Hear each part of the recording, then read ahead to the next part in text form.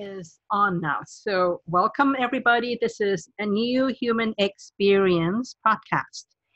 And today is July the 16th, 2020. Uh, the topic for this evening is family relations.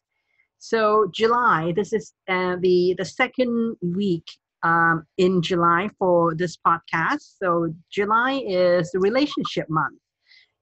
Last week, I talked about our relationship with ourselves because I talked about that first because how we um, relate to ourselves really is the foundation of everything else.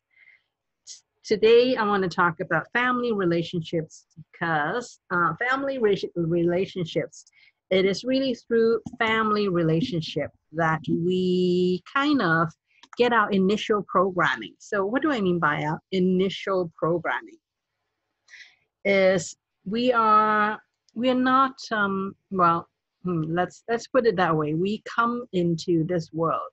So we are souls. We are eternal souls and we decided oh let's um let's we after we've kind of been in non-form um, or just existing as just a our consciousness and just existing as a more etheric um existence as a soul, then after a while we would want to have, you know, some physical, some really experience something very different. And so when our soul wants to take on a more um, physical, more um, material kind of um, existence, then we would go and say, oh, okay, as a soul, I think this is where my development as a, um, a, soul is and um, i would like to have let's say xyz experiences and growth points so that i can further my understanding of um, the i would say or, or further um, remembering who i truly am. So then so before we come in and take a body, we kind of um, have a list, a, kind of like a, a list of things we want to accomplish uh, on a soul level. And then and then we would kind of take this shopping list and then go shop for a body and say, oh, okay, so let's um, find out, let's find where in the the galaxy um, uh, we can find the kind of body um, and also the the setup or the playground and the the, the um, to get the all the setup all the programming and all that set up so that we can have the experience that are so needed in order for it to grow to the the next level for it to understand expand and um, be able to transcend what our current what the, the soul's current understanding is. So then our soul would um, in conjunction with uh, or i should say that our soul usually don't decide that on their own. We usually would have some helpers some other more advanced soul who's done this for a long time who would be able to assist us and um, be able to say, hey, you know what? There's this this playground called Earth, and they are going through a very interesting time. And if it's not going to be easy play though, but if you um, succeed there, then your soul is going to grow 10 times stronger and, and faster. Um, would that be something that's interests you? So so if you're really adventurous soul, you would say, huh, okay, let me consider it. So tell me what is the setup? Well, you completely forget who you are. Um, your parents, sometimes they are really abusive. They um, or or your parents um, may die on you, and you would be you know left with um, you know, all sorts of different um, relatives who don't really care for you as much or some other setup. So you would, but then if all of this, that when you when you um, get through all of this and still be able to remember that you are eternal soul just having a a, um, a human experience and and a temporary experience and be able to transcend all of the um, i would say emotional turmoil that you're going to go through then your soul is going to be so much more advanced. And if you can succeed here you can succeed anywhere. So so that's i'm i'm dramatizing and i'm really playing with this but you know it's it's actually not too far away from the what actually happens is is that it's um, we have before we actually come to earth we actually were shown who our parents will be or potential.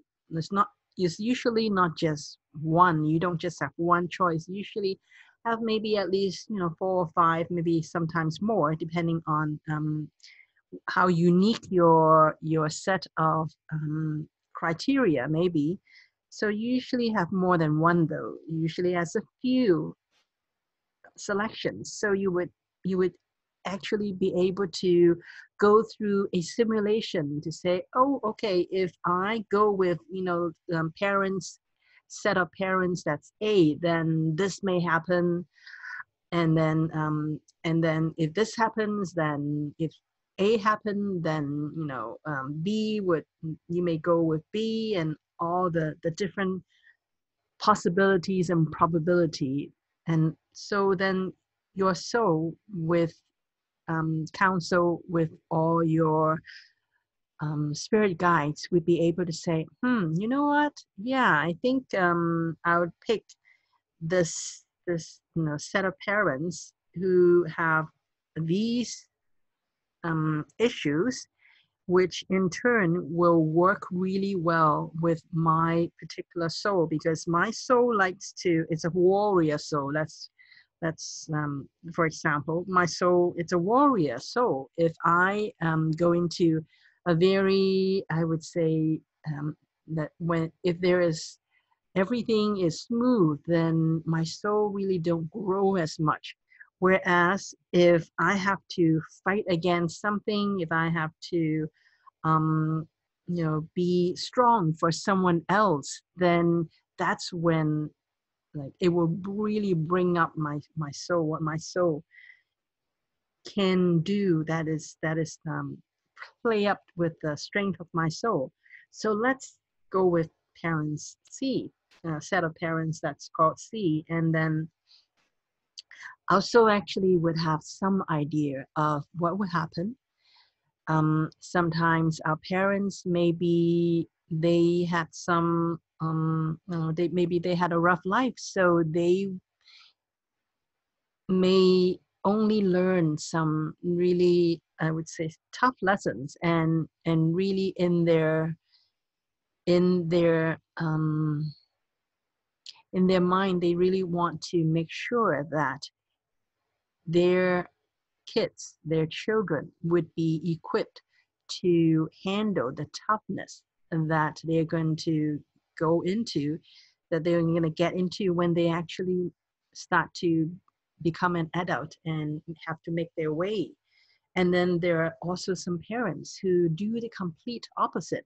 They know how much, they know how competitive the, uh, the world is, and they do their best to shield their children so that they their children can have the, the longest time possible to be unspoiled by the, the, the cruelty of the world. However, um, it may or may not work with their the, the soul of their child.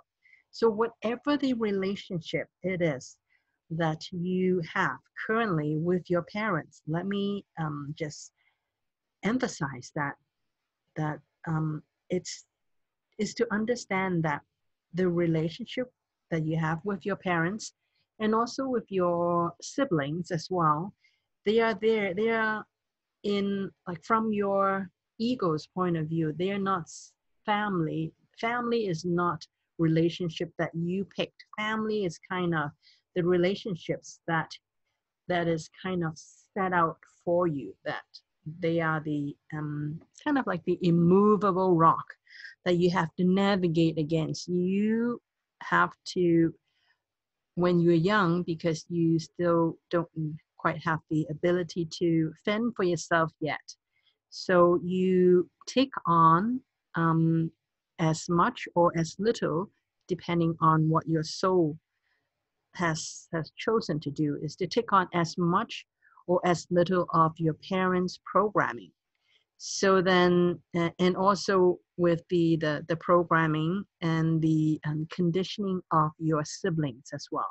So those are really the things that are so primary to you that it they form the um, they form the basis of who you are for better or worse and what I'm trying to say here is that it's it's not right, it's not wrong, it's just the way it is. And that the the, um, the journey that we are here as a soul is really to work with something that is not of our own choosing.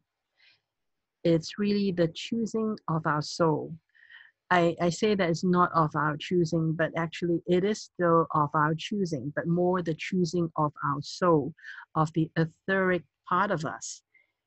And when we come here and really experiencing the the the, the choice of our soul, we this is when we actually incarnate on earth. That's when the the, the rubber hits the road when you physically experience what it feels like to have strict parents or to have really loving, lenient, and allow you to do anything you want kind of parents. It's it's not about the parents. It's about um, how you how your soul respond to your parents. This is really how you actually grow.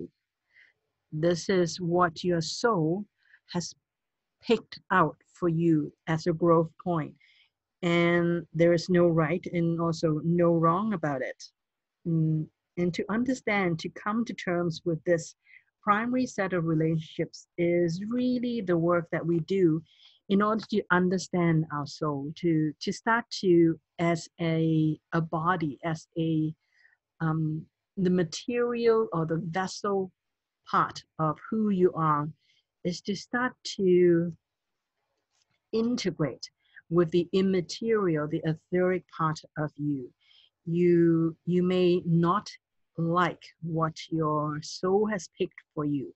However, if you keep on, um, I would say, if you keep on resisting what the path that your soul has picked out for you, then um, you may not have as much success.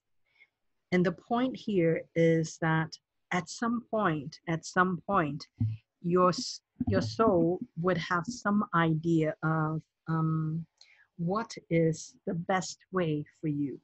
Sometimes it is really to put so much pressure and so much um, I would say, so much hardship in your way that it has, you have to bring out the best and the, the, the, the, the, the most um, resilient part of you.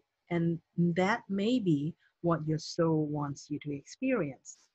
So the idea is for the for all parts of yourself the soul part, the um, the the soul meaning the the cosmic part of you, and also the earthbound um, entity part of your soul to both work together with the the the vessel, the the part of you that actually experience from your five senses to somehow come to terms with this situation and then start to move forward in alignment with each other. So ultimately, what our soul is after is for us really to go beyond our initial programming. Perhaps in, um, I would say, perhaps maybe 50 years ago or 100 years ago, it's not the case. Whereas now, because we are in transition between um, third dimension to fifth dimension, so currently, I'm speaking currently, it is ultimately, it is the, the, the direction of our soul is for us to go beyond our initial programming. It's really not so much to explore what our body experiences, is really try to understand which way our soul really wants us to develop and to start to embody the, the I would say the direction of the soul and when we can do that in, um, in alignment and create that alignment, then it is, um, then we would actually, our soul would start to work with us much easier and, and be able to um, start to part the, the, the sea for us. So I say this not to diminish our hum, like the, the humanity part of us and not to suggest that there's anything wrong with our family origin. There's nothing wrong with that. Nothing wrong with any experience, whether your experience with your your family, whether your parents or your siblings, whether they are good or bad, whether they are um, harmonious or not, or whether they are always the thorn uh, uh, your side. There's nothing wrong with that. It is what your soul came here to experience.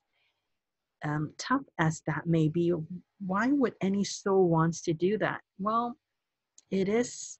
There is no such thing as um, a right way for the soul. It is really what the soul needs in order for it to break through to the next dimension and we are because um, the breaking through to the, the next dimension is really to remember that we're not just this body and even though we um, live in this body we are not just the product of our family we're not just the product of our family that there is something beyond us that is internal. and it is always pointing us in the direction that we needed to go um, albeit very, sometimes very subtly and sometimes not so subtly. And learning how to work together with our body is the first step to learning how to work together with other people as well because um, oneness there are many levels of oneness the first level of oneness um, so fifth dimension is is about oneness. Oneness is a fifth dimension um, concept. Is one of the the major concept that it may take us um, a while to really get at, because when we are in our body, we we only observe our uniqueness. We only observe our separation from other people and we actually believe that we are separated from our soul, from the parts of us that we cannot touch, that we can only um, have glimpses of if we really start to observe how we are or meditate on it and quiet our mind. And so the, the first level of oneness is really to is to create that oneness between the etheric part of us and the physical part of us and be able to unify that so that all parts of us is um, supporting the other parts where our our soul does not diminish the the physical experience and the physical experience does not um, take away from our spiritual nature. And when the two, when all parts of us can march in the same direction, then we start to go on to the next level of oneness, which is to start to look at each one of the, the other people around us, whether they are family or not, to be able to look into someone else's eyes, someone else with a different body than us, and be able to see the similarities more than we um, start to or focus on the the differences. And oneness does not and when i say oneness I, I i'm not trying to say that we are all the same and far from it. It oneness oneness is a balancing act on the one hand individuality must be respected because our soul our um, etheric part of us the the higher self or the the ultimate creator has picked the direction of diversity. And the more we can experience our, our life, our creator source, beingness in as, as different, as much diversity, and be able to hold all of the, the, the diversity on one hand and be able to also recognize that all of that diversity, that there is um, they all come from one source. And to be able to hold both the diversity and the individuality on one hand, and the oneness and the sameness on the other hand, without sacrificing anything, without compromising anything. It is, and and that is really the um, the journey that we are going on, that our soul is going on on on planet earth is to start to find that balance and live that balance and embody that balance not just be able to understand it when we are um, when we are living as a soul but be able to understand it as well when we are living in our body and from our body. So regaining our soul's true essence beyond our family relationships conditioning is really part of the soul journey. And and yes i know it's it may not sound very easy however um, i just want to offer that that that's why um, oneness and love is so much a part of the fifth dimension. The idea is that if you love yourself in such a way that you can honor your own uniqueness without taking away from someone else. And when you love yourself and those around you unconditionally, that is how you can actually is the best way. Uh, it's the the the most incentive for you to be able to strike just the right balance, so that you're not just um, trying to find a quick solution because um, spiritual truth is not a quick solution um, kind of deal. It is, um, I would say, it's, it's much easier to say, okay, this I know better, and I'm going to dictate, and everyone is going to listen to me, and anybody who don't agree with me, off the head. I mean that that's what we've been going through for uh, in in in in really uh, two dimension and three dimension. That's how we resolve the um, difference between people. We fight. We fight to the death. A lot of the times, there's so much violence, and when we go into the fifth dimension, violence is not um, feasible anymore because we because when oneness when we really embrace oneness then we start to appreciate that when you when you look for easy solution when you even with the best of intention i know better and you are you know you're young you don't know so just do what i say and don't argue. That kind of mentality does not work.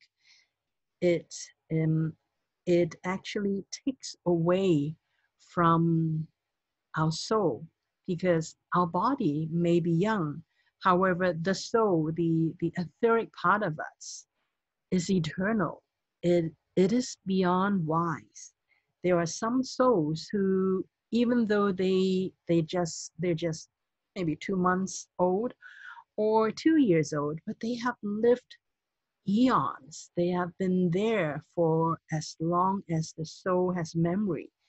So if you just look at the the physical part of it, then you missed all of the wisdom that hides behind that is the soul can have access to if only that part of if only they would um, honor the eternal part of them. So the quickest solution may not always be the best one. So in summary then i want to say that what is family relationship? And and maybe one of the question you need to ask yourself is how do you like how do you like your family relationships right now? How do is that a a source of happiness for you or is that a source of um, heartache for you? And uh, there is no no good answer there is no bad answer. Is that what what our family relationships truly is. Is really a trail of breadcrumbs that our soul has left for us for us to untangle. And when we start to do the work of waking up to the eternal part of us and to start to not just um, project onto our unsuccessful relationships with our family and be able to say that enough is enough. I am no longer a child. And that um, I remember that my soul, I remember my soul, and I remember that I am more than this body. And when we can start to wake up to our soul parts, then all the immovable mountains that we face until we remember that. When we can remember that we are the creator and we are actually the creator that picked those parents that picked those siblings that placed those immovable mountains there. And once we realize that then we realize that we can graduate to the next level. And what is the next level that's really when you learn to fly over those mountains. Or maybe simply to decide to shift to another parallel reality where mountains are made of marshmallows. So, whatever the, the next level is for you, I don't know. It is really your soul's creation with yourself. Sometimes it may be to just um, be with your family and smile and give them a, a stupid smile and just, you know, enjoy their company for as much as possible. Or sometimes it may be to avoid them as much as possible and but still um, not try to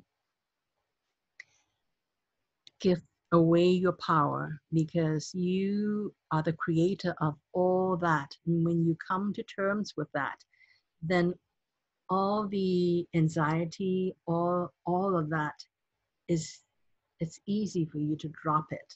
When you can drop it, then you can become the adult because it is when like all of those um, emotional um, relationships or uh, that you have set up, they all actually began when you were a child, when you are helpless, when you needed someone else to take care of you, when you cannot provide for yourself. However, that no longer is true.